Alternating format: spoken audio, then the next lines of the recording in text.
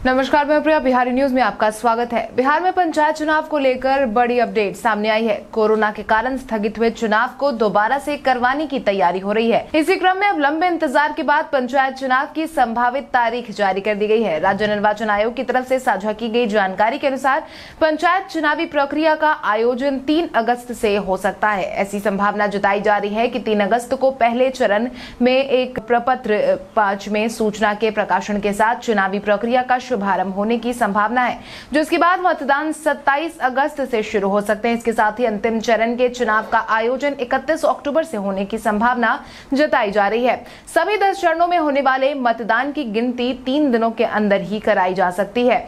हालाँकि, इन सब के बीच निर्वाचन आयोग ने 3 अगस्त को चुनाव प्रक्रिया शुरू करने को लेकर किसी भी कार्यक्रम निर्धारण से इनकार कर दिया है। इसके साथ ही आपको बता दें कि निर्वाचन आयोग ने चुनाव को लेकर फैसला लिया कि इस बार ईवीएम के साथ बैलेट पेपर से भी चुनाव करा सकते हैं। निर्वाचन आयोग ने कहा है कि अगर पर्याप्त ईवीएम की व्यवस्था नहीं होती है तो पंचायत के छह पदों में से पंच और सरपंच के चुनाव बैलेट पेपर से कराए जा सकते हैं। राज्य निर्वाचन आयोग ने चुनाव आयोग को लेकर पहले ही ईवीएम के इस्तेमाल को लेकर लेकर ऐलान कर दिया था। वहीं इन सब के बीच अब पंचायत चुनाव के लिए बैलेट पेपर के इस्तेमाल की तैयारी भी शुरू हो गई है, क्योंकि राज्य निर्वाचन आयोग चार पद, मुखिया, जिला परिषद, वार्ड सदस्य, पंचायत समिति सदस्य का चुनाव, इलेक्ट्रॉनिक वोटिंग मशीन से करवाने और दो पद, पंच और सरपंच का चुनाव बैलेट पेपर पर करवाने पर विचार कर रहा है। आपकी जानकारी के लिए आपको बता दें, पंचायत चुनाव के आयोजन को लेकर हाल ही में निर्वाचन आयोग ने बैठक का आयोजन करवाया था, जिसके बाद से ही अगस्त महीने से चुनावी तैयारियों को शुरू करने पर सहमति बनी है।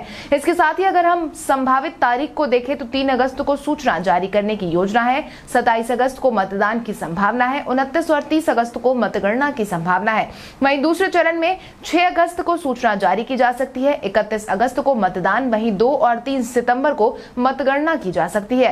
तीसरे चरण की बात करें तो 16 अगस्त को सूचना जारी, दस सितंबर को मतदान 12 और तेरह सितंबर को मतगणना हो सकती है। वहीं चौथे चरण में 20 अगस्त को सूचना जारी, चौदह सितंबर को मतदान 16 और 17 सितंबर को मतगणना हो सकती है। इसके साथ ही पाँचवें चरण की शुरुआत के तहत 1 सितंबर को सूचना जारी 24 सितंबर को मतदान और 26 और 27 सितंबर को मतगणना की संभावित तारीख तय की गई है। इसके साथ ही छठे चरण में 7 सितंबर को सूचना जारी 30 सितंबर को मतदान, वहीं 2 और 3 अक्टूबर को मतगणना हो सकती है। वहीं सातवें चरण में 13 सितंबर को सूचना जारी 8 अक्टूबर को मतदान, वहीं 10 और 11 अक्टूबर को मतगणना की संभावना जताई गई है। आठवें चरण की बात करें तो 24 सितंबर को सूचना जारी 18 अक्टूबर को मतदान, वहीं 20 और 31 अक्टूबर को मतगणना होगी।